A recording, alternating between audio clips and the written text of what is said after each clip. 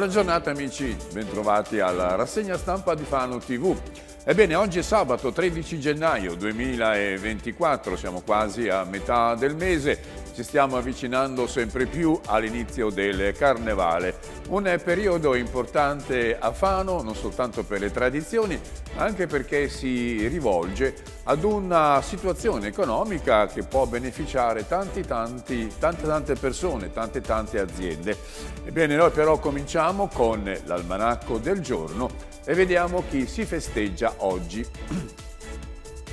Eccolo qua, è Sant'Ilario di Poitiers, visse nel IV secolo in Francia.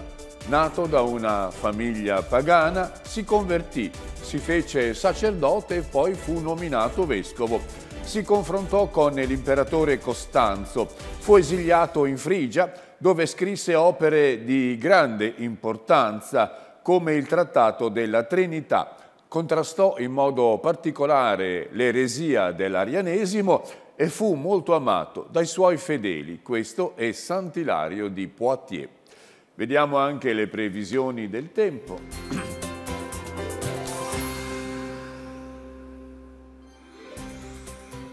Ecco, la grafica ci mostra un tempo tutto sommato buono. Tempo stabile in prevalenza soleggiato, salvo qualche nube in più a ridosso dei rilievi appenninici. Il clima però continua a rimanere freddo al mattino, temperatura, la temperatura minima è 3 gradi, la massima 8 gradi. Sulle coste i venti spireranno con una tensione media da nord, nell'interno invece con una tensione più debole da ovest e sud-ovest. Il mare è abbastanza, abbastanza mosso. Il sole questa mattina sorge alle 7.40 e tramonterà alle 16.50. Le giornate si allungano leggermente, piano piano eh, andremo avanti fino alla primavera.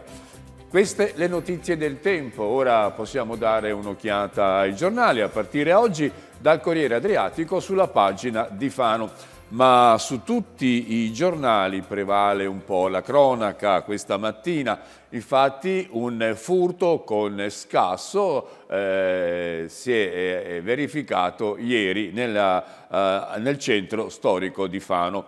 Rompe la vetrina con una tegola e fa razzia di indumenti e denaro. Furto nella notte a Lipbeck. I carabinieri bloccano in flagranza un 26enne.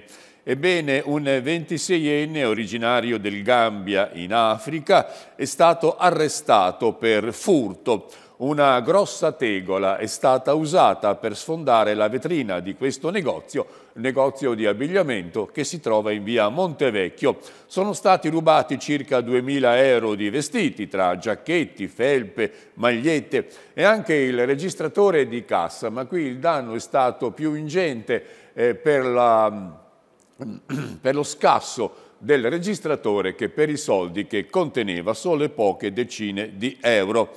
I carabinieri della compagnia fanese hanno aggiunto anche l'accusa di resistenza pubblico ufficiale perché il giovane si sarebbe opposto con certa vigoria al loro intervento. Infatti i carabinieri sono riusciti ad acciuffare il ladro e a portarlo in prigione. In totale il danno dovrebbe aggirarsi tra i 5.000 e i 7.000 euro, compresa la vetrina in doppio vetro antisfondamento. Eh, questa è un po' la stima del titolare del negozio Tommaso Acquadro. L'allarme è stato dato da una residente che è stata svegliata dai rumori. Il titolare 19enne aveva aperto appena un mese fa e purtroppo è stato colpito da questa razzia, da questi danni. Visitatori in crescita, Natale più 30%, è il senso di un consuntivo che l'assessore agli eventi Etienne Lucarelli ha tracciato ieri in una conferenza stampa che si è svolta nella Sala della Concordia. Siamo ormai, eh, alle, abbiamo ormai lasciato alle spalle le festività natalizie, ebbene eh, sono state eh, attività eh, particolarmente attrattive per i turisti che sono giunti a Fano da diverse regioni d'Italia. Sono state tre le attrattive più importanti. Innanzitutto il presepe di San Marco che è stato visitato da circa eh, 10.000 persone, eh, così come ha, relazionato Don Marco Polverari, che è l'autore di questa grandiosa rappresentazione non solo della nascita di Gesù, ma di tutta la Bibbia, di tutti gli episodi della Bibbia. Poi tantissime persone, 10.000 anche le, le, le, visite alla chiesa di San Francesco con questo spettacolo di luci che ha tracciato un po' la storia di tutto l'edificio. Un'altra attrattiva è stata ovviamente la mostra sul Perugino che durerà ancora per diverso tempo e sta veramente attraendo tantissimi visitatori su scala nazionale. Dunque una serie di iniziative che hanno reso Fano una città molto molto ambita anche durante le feste natalizie. Questo non capitava in passato, il Natale non era un'attrattiva turistica, adesso invece lo sta diventando grazie a queste eh, grosse, grosse iniziative, grosse manifestazioni che si distinguono a livello nazionale visitatori in crescita a Natale più 30% rispetto al passato. Giriamo la pagina e vediamo una, uh, uh, una, un, corso, un corso nuovo che è stato organizzato dal Don Orione al via specializzazione post diploma. Eh, 14 aziende sono pronte ad assumere. Ed sono corsi questi che sono finalizzati a trovare un posto di lavoro ai giovani che hanno oh, superato eh, la maturità, quindi sono giovani post diploma, che però sono specializzati nella industrializzazione più avanzata, ovvero per le esigenze di quelle ditte che si sono, eh, che si sono dotate di impianti molto molto oh, progrediti, eh, quelli che riguardano l'automazione, quelli che riguardano una compu computerazione spinta, quelli che hanno dato, quelli che hanno acquistato tanti apparecchi e ora a queste aziende servono, serve personale per farlo funzionare.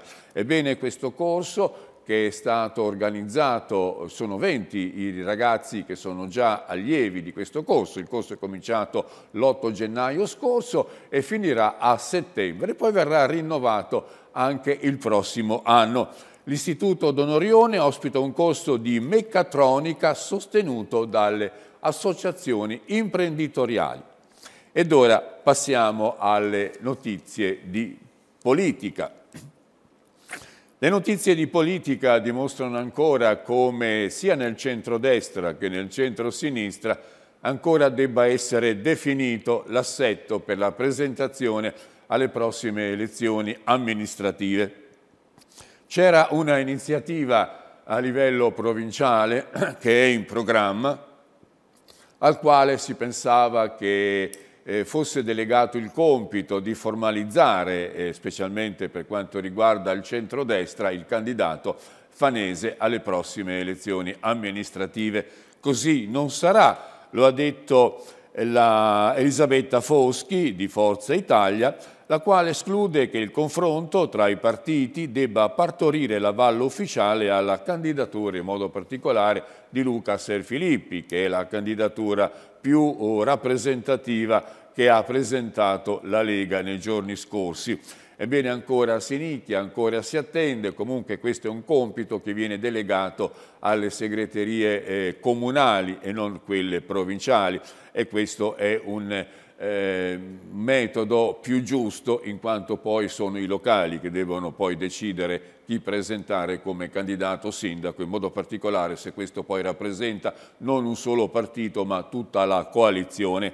Il campo largo è spaccato, Melina del centrodestra che ancora insomma non si decide a formalizzare una, uh, una candidatura che ormai si considera uh, che è ormai quella che, che deve essere, insomma, detto in parole povere. A Cartoceto, a Cartoceto ci sono 14 utenze, di cui anche un ristorante, senza acquedotto. Appello al Comune e a Marche Multiservizi. È una situazione questa che si trascina da diversi anni. Sono state scritte diverse eh, lettere al Comune e agli organi competenti, ma ancora non si è avuta nessuna risposta e bisogna andare eh, a rifornirsi nell'acqua dei pozzi ma poi l'aggravante è stata che anche l'acqua dei pozzi non è bevibile, non è potabile, perché è stata considerata eh, con i parametri non in sintonia con quelli autorizzati. E allora bisogna procedere a tutto un procedimento di, di potabilizzazione per purificare l'acqua. Ed è una situazione questa che sta diventando insostenibile sia per le famiglie sia per questa azienda della ristorazione che insomma ha un aggravante di spesa non trascurabile. Ecco perché c'è questo appello rivolto al Comune e a Marche Multiservizi. Riqualificazione di spazi urbani, i progettisti l'assessore regionale alle infrastrutture e ai lavori pubblici Francesco Baldelli ha reso noto l'elenco degli architetti vincitori per i progetti di Mercatello sul Metauro, Borgo Pace e Zanotaglia. Il concorso, che è stato così chiamato Fattore Q, riguardava la riqualificazione di spazi urbani ed ha coinvolto addirittura 111 comuni e qua insomma c'è l'esito di questo concorso.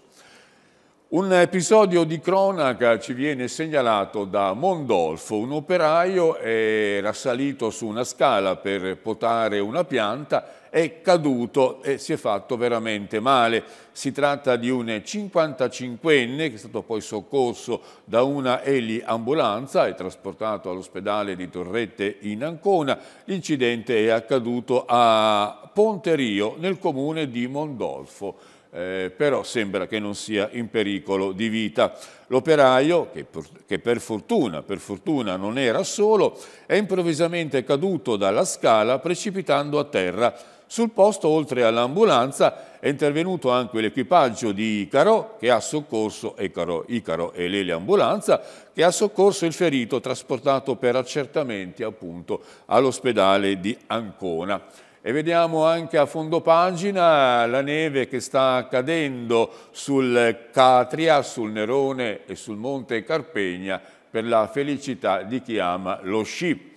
Vediamo anche Senigallia. A Senigallia si parla del processo Padovani. La, per la procura Padovani l'ex calciatore stalker è da ergastolo ha annientato la sua ex compagna, così è stato dichiarato. È stata chiesta dunque la massima pena per il calciatore. In aula sono state mostrate le foto shock del cadavere della donna.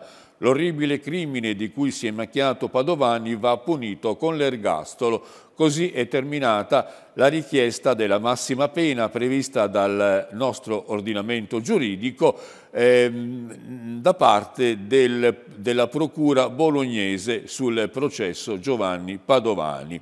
Eh, insomma un episodio che poi è stato rievocato in tutti i particolari di fronte al giudice.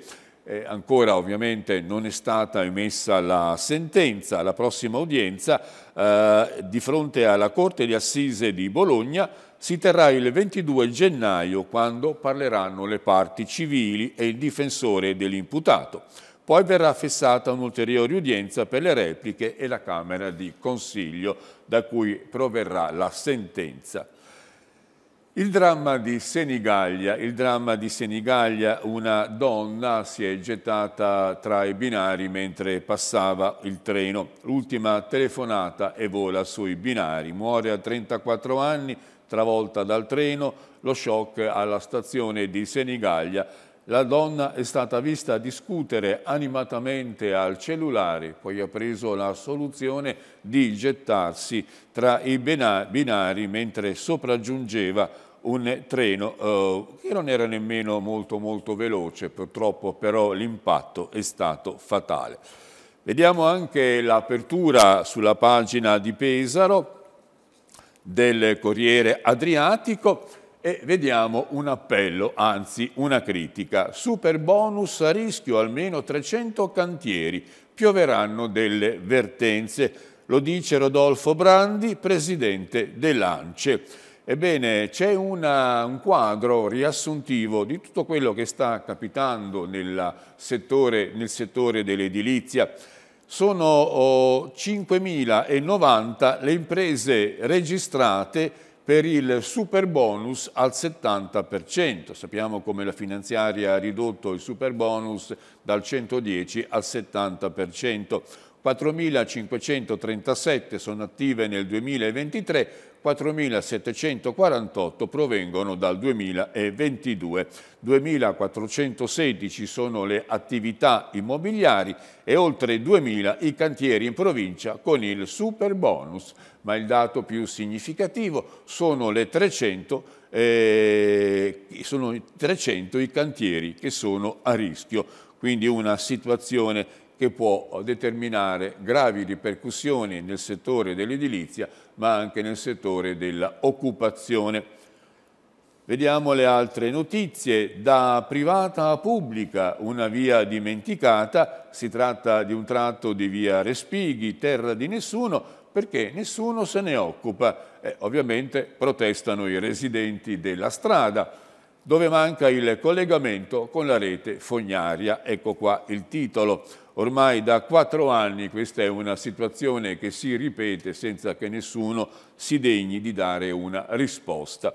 E a fondo pagina vediamo come la Presidente dell'Ordine degli Infermieri lascia il suo incarico. Si tratta di Laura Biagiotti, che da tanti tanti anni, 16 anni, pensate, ricopre questa carica, ha lottato tantissimo per difendere le istanze, i diritti degli infermieri, dell'ospedale di Fano, di Pesaro, insomma di tutta l'azienda sanitaria prima e poi dell'Aste adesso.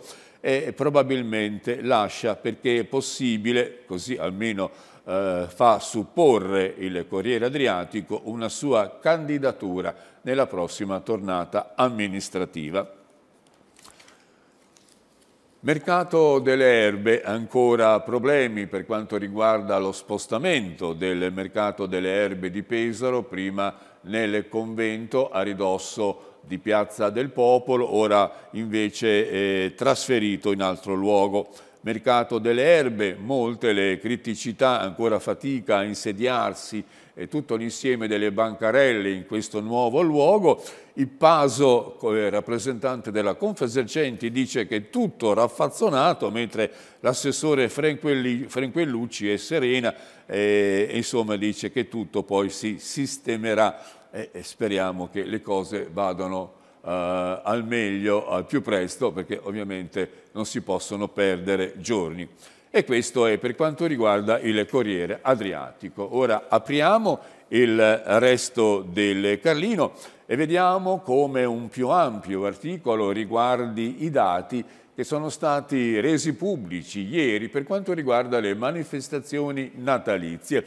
Ne hanno parlato in modo particolare l'assessore agli eventi Etienne Lucarelli e soprattutto anche Don Marco Polverari, l'autore del presepe di San Marco insieme a Maurizio Romagnoli, l'artista che ha realizzato tante pitture, eh, tanti affreschi sul, eh, sui muri delle, dello scantinato di Palazzo Fabri, un palazzo storico della città di Fano, ma anche ha realizzato veramente eh, di fatto tutte le scenografie, tutte le statue in movimento. E qua vediamo anche i rappresentanti delle associazioni, eh, Luciano Cecchini, presidente dell'Associazione Albergatori e vicepresidente invece della Confesercenti eh, di Fano, e anche rappresentante sindacale Stefano Mirisola.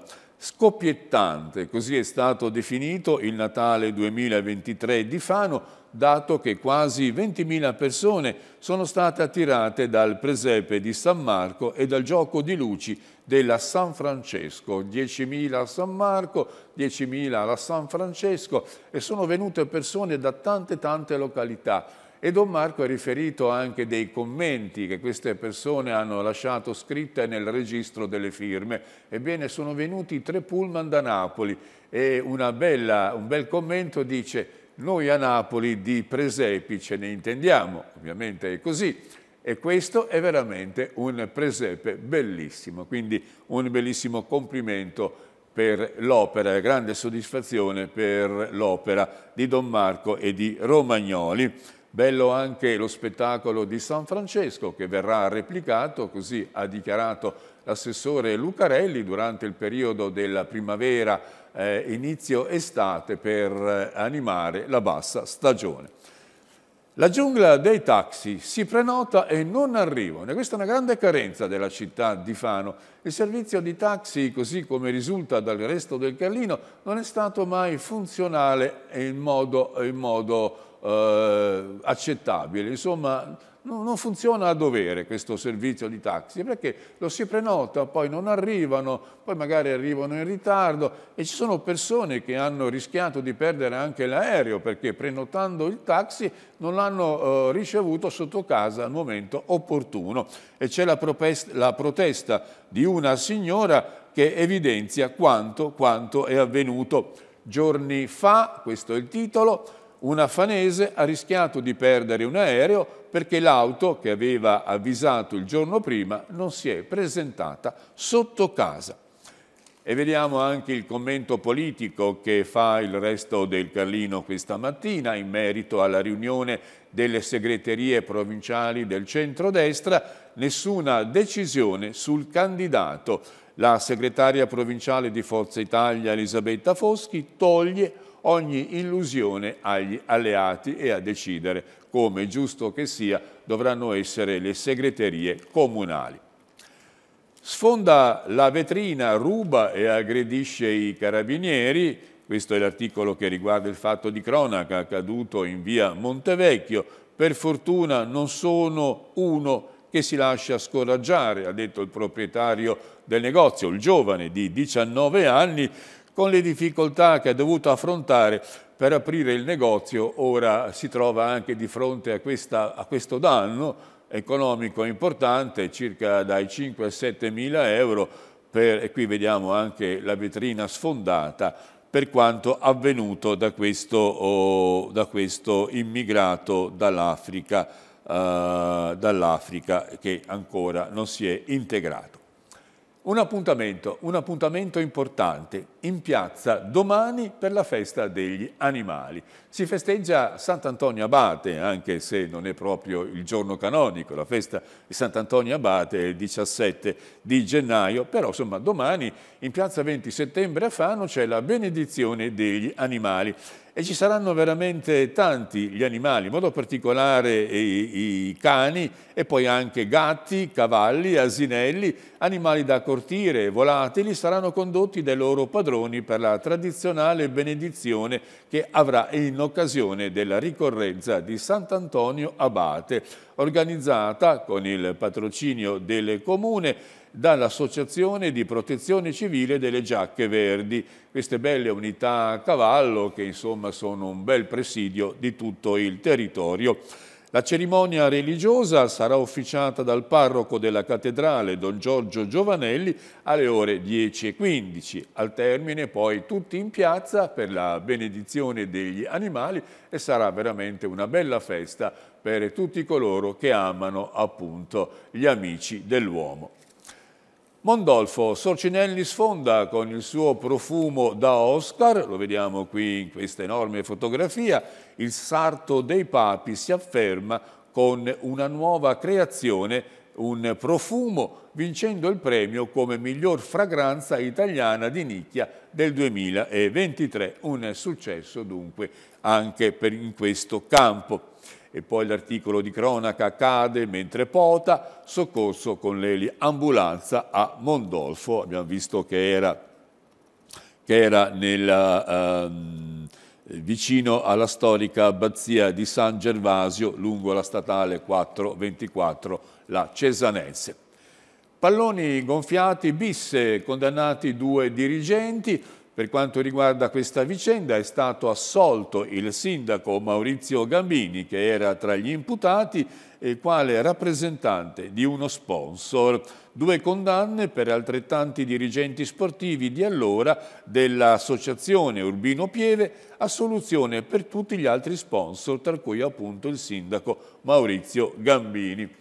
Vediamo anche l'articolo che ci viene da Santo Stefano di Gaifa, maxi variante al piano regolatore per 40.000 metri quadrati, Carraps uno scempio, non passerà.